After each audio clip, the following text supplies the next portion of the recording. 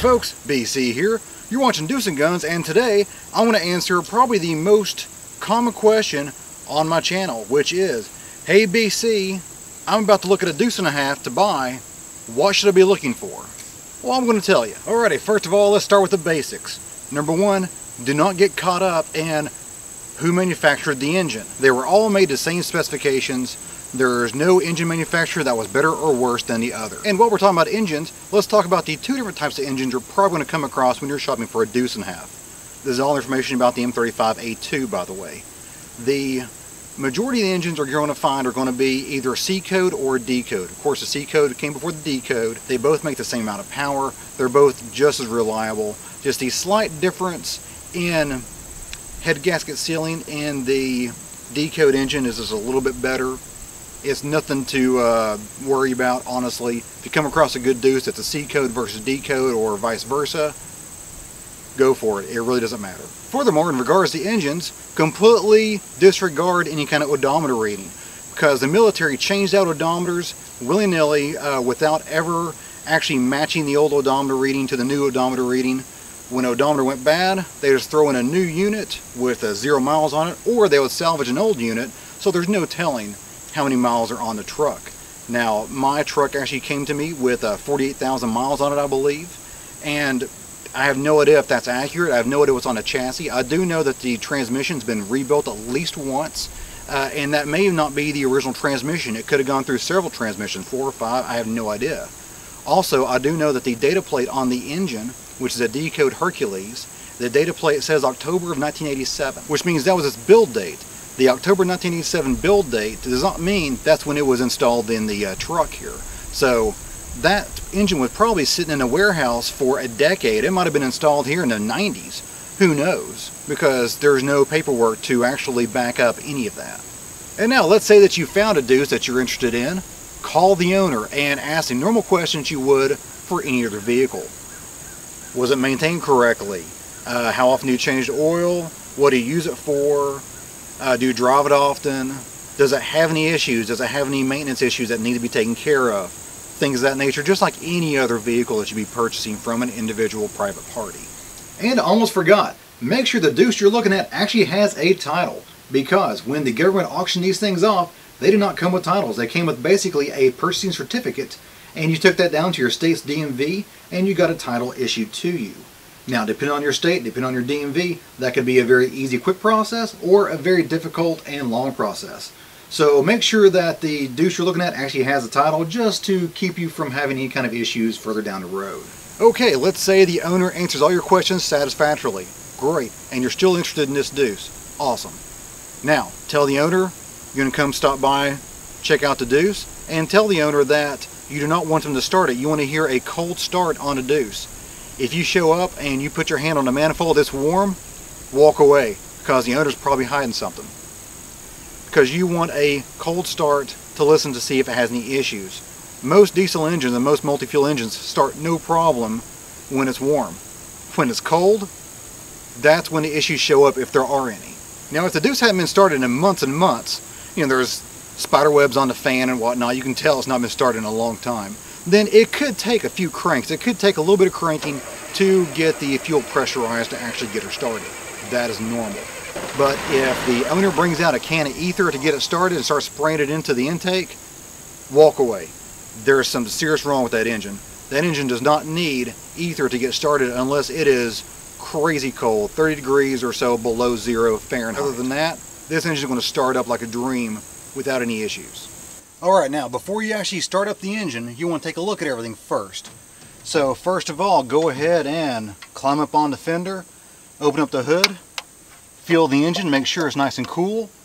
Mine's been running a little bit so it's a little bit toasty. And you want to check the radiator. Now you open it up, it's like a normal car. And there should be radiator fluid right about here down below the neck. Just barely be able to see it because that allows it to expand. Also make sure that the coolant color is nice and green like a normal vehicle should be. Now keep in mind that a diesel does use a diesel spec coolant so don't get that switched up with a normal vehicle. Also you want to check the oil here, so take out the dipstick.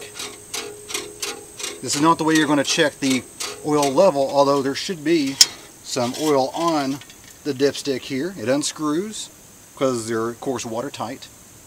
And you want to look at that, and you want to take a look at the oil on there, and hopefully it's going to look like normal oil.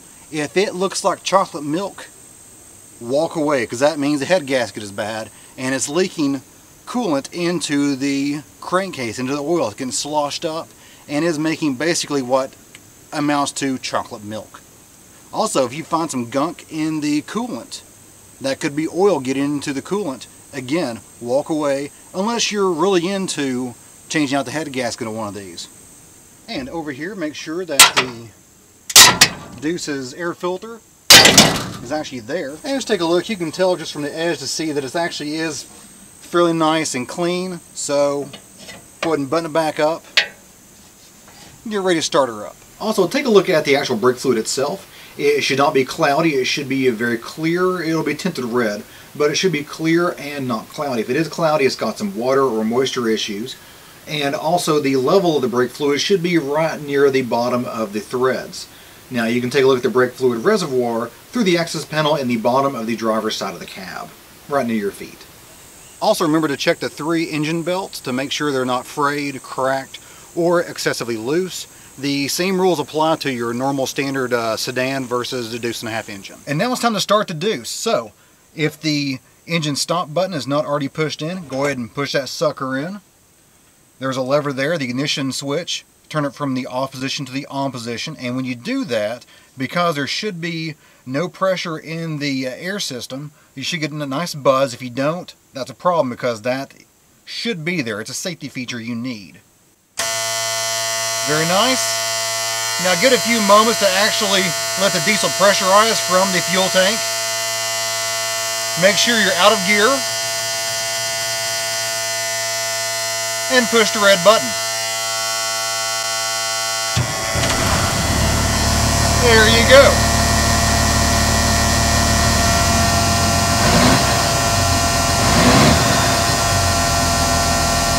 Oh, that's a good sound. can do that because the deuce is already warmed up. I've been driving it all day. Don't rev your deuce when you first start it. Get the air pressure up, stop the buzz. There we go, that's better. Once the air pressure hits 60 psi, it goes all the way to 120. Once you hit 60, that means that you're safe to drive it, and the, uh, the brakes will work with 60 psi, so the buzz goes off then. You should reach 120 psi on the gauge, pretty quickly actually. At this point you can also hear the uh, turbo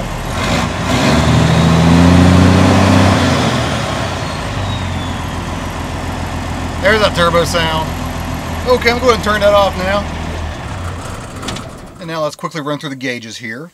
The speed, of course, should be zero. You're sitting still. The fuel level should be whatever's in it. Hopefully, if it's reading something, it should go up somewhere. Hopefully the guy does not have the thing running on empty. The uh, tachometer should be showing at idle once it's warmed up about 7 to 800 you know, RPM. Now, when it's cold, when it's completely cold, you may have to use the uh, throttle lever over here to get it about a thousand RPM and let it warm up there. That's completely normal. That is not unusual. So cold engine, pull that throttle just, you know, just two notches maybe, one, two notches, and you're good. That'll keep you at about 1,000 RPM. And then once it's warmed up completely, once the actually air, you know, low air indicator stops, then you can push that back in usually, and it'll lower back down to about seven or 800 RPM. Now the oil pressure should be sitting about 30. Now I have heard there was a mix up in the military with the different types of senders. Some senders will actually read about 15, but it should be 30 if everything is correctly done. The air pressure should have climbed very quickly, hit the 60 mark within a minute or two, and then continued all the way to 120. The generator should be almost straight to the green. It might charge a little bit if it's not been started for a while. Going to have to charge the batteries up but it should be right in the green area. And temperature gauge should be zero because, of course, you asked the uh, owner to uh, not start the engines. The engine should be cold. So that will climb up once you, it takes a while to get gallons and gallons of oil and gallons and gallons of antifreeze warmed up. But once it's fully warmed up and operational, it should be around 180 degrees Fahrenheit. And as the truck warms up and the pressure builds, walk around the truck, take a look at the tires, make sure there's plenty of life left in them because they are not cheap, especially when you need to buy 10 of them. 11 if you want the spare to match. And also check the PSI on a couple of them just to make sure they're all around 50 PSI. And now, if you've not actually driven a deuce and a half before, go ahead and take a look at my link here about shifting on a deuce because the uh, shift pattern is a little bit wonky and also second gear when you're going from first to second second gear is a little stiff on all of them. That is completely expected. But once you actually change over the transmission oil to a straight weight 30 40 or 50 weight oil like specified by the manufacturer Spicer the shift to second is a little bit easier but it's still stiff. It's still not a sports car and never will be. And during your test drive pay attention to the brake pedal. The brake pedal should be firm but not overly mushy soft or extra, extra hard. It uh, should feel like a normal, decent sized truck. The brake pedal in my F250 feels very similar to the brake pedal in my Deuce and a half. It should not feel mushy, it should not go all the way to the floor, nor should it be rock hard from the very top. And now you're done with your test drive, and you got a few more things to check before you can make your final offer and decision on buying this Deuce or not. Number one is to check the lift pump and the fuel tank. Now, you can't hear the lift pump when the low pressure buzzer is going off, nor when the truck is running. So I'm going to show you right now what this sounds like, what it should sound like when it's actually working correctly. Hold on. Now with the truck not running, but the air pressure up and the ignition switch on, you can hear the lift pump running. Now the Deuce and a half will run without the lift pump, but it's extra hard on the high pressure pumps in the engine. So make sure this is working. Sometimes it's just a uh, fuse or breaker, but sometimes the actual motor itself and pump itself is burnt out. Also, once the test drive is over, turn everything off and just sit in the cab and listen. Listen for the telltale sign of the hiss of higher pressure air escaping from the airlines. As you can tell, I do not have that because I have fixed the vast majority of my air leaks. There's only one air leak left and it's actually in the gauge, which is why it's kind of fogged up. Now that was not the case when I first bought this Deuce. I picked it up. I could hear the hiss. I thought it was normal. I'd heard it before in other deuces, so I thought it was normal. I didn't have a channel like this on the internet to tell me that it was not a normal thing. So, driving home on the interstate, and the hiss got louder and got louder, till finally the uh, air compressor could not keep up, and it actually lowered below the um, buzzer limit warning, which was 60 psi. So once it reached below 60, the buzzer started going off and the emergency bells start going off. Pull over because you could lose your brakes. So pull over off the interstate uh, to the first truck stop I came across. Stopped it. When I turned it off, the air pressure basically just immediately flatlined down to zero. So obviously I had a problem. And I went digging behind my dash and I pulled out two air hoses. One of them went to the actual gauge, the air gauge, and the other one went to the um, pneumatic switch that actuates the front axle front wheel drive. And now I took the two air lines, they were so bad and dry rot I'd actually tear them apart in my hands if I wanted to. And luckily, the actual truck stop had a Napa, complete full service Napa Auto Center on the grounds, which was great. I took those uh, air hoses in and they built me completely new ones and with a little bit of Teflon tape, I was golden and actually that solved all my leaks except for the tiny little one and the gauge itself. Everything else is kind of personal preferences. Do you want the Sprag front end that automatically engages the front wheels when the rear ones slip? Or do you want the uh, pneumatic front end drive basically where you can engage the front axle whenever you want to? I recommend the latter because the Sprag front end can cause some problems if you are a little um, overzealous with the first gear and the throttle. And also, while not being a deal breaker, walk around and make sure all the bulbs work, all the switches work as far as like the uh, turn signals and hazard lights and the headlights work, both uh, high and low beam. Just make sure all that works because it is kind of a hassle trying to find 24 volt bulbs. They are available, usually you have to order them from the internet. So if they're not working, maybe the owner has some spares around that can give you, or maybe they'll give you a few bucks extra just to help you out and get those things taken care of. Now remember the Deuce and a half is a 24 volt system so it's got two full-size car batteries in there. So take a look at the battery box, make sure that the batteries are up to date and fairly new. Uh, now technically the the correct battery for the Deuce and a half is actually two separate heavy-duty military-grade batteries, but you can get away with two full-size car batteries in there. That's what I've got, and they're just fine. And that's pretty much the nuts and bolts of looking at a deuce and a half for a purchase. Everything else is pretty much like a normal old vehicle purchase. How much rust is on it? How much does it leak? What does it leak? And are those things deal breakers? Well guys, all I got for you today. Hope you enjoyed it. Hope you found it helpful. If you have any comments, questions, or show ideas, leave them in the comment box below the video. I try to get to as many of those as possible. And for the rest of the evening, I'm going to go ahead and enjoy this fall day. I suggest you do the same. See ya.